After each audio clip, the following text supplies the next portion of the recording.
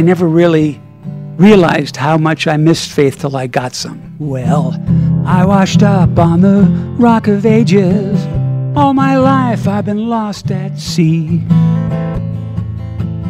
Just laying low, making workmen's wages till the Lord cast his net for me.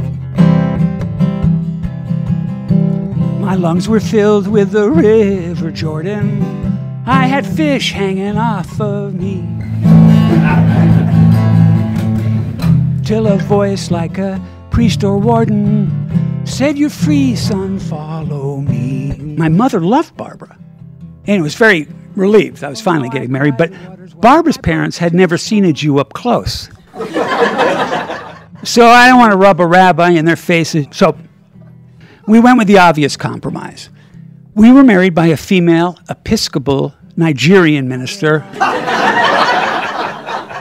in our favorite Mexican restaurant, those, those Feliz Caballeros, a gay bar with the greatest guacamole in the whole town, and life was great.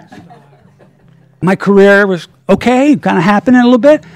About a couple years after that, we had our first beautiful child. And about a year and a half, two years after that, we had our second girl, and we were blessed. I never stopped to think by whom were we blessed?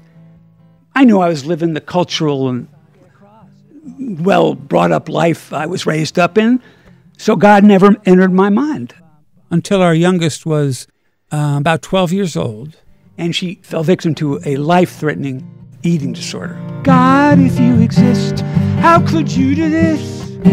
I stomped my foot and shook my fist. I followed your rules, got good grades in school, called everybody Mr. and Misery and Shame will be our middle name till God's light fills this room.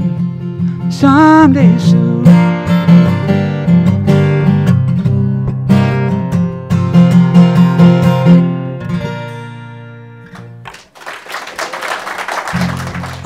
Had a dream last night. Our father stood in the light. He said, Kid, you did all right for everyone.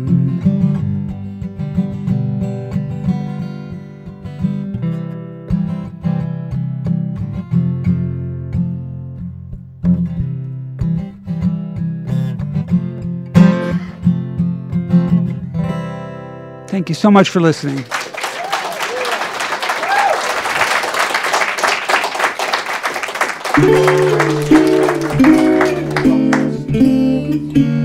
Thank you for listening to Tom Leopold's One Man Show, A Comedy Writer Finds God on the Catholic Channel, Sirius XM 129. If you want Tom to perform the show you just heard at your church, club, or corporate event, contact him at tomleopold.net. That's T O M L E O P O L D dot N E T.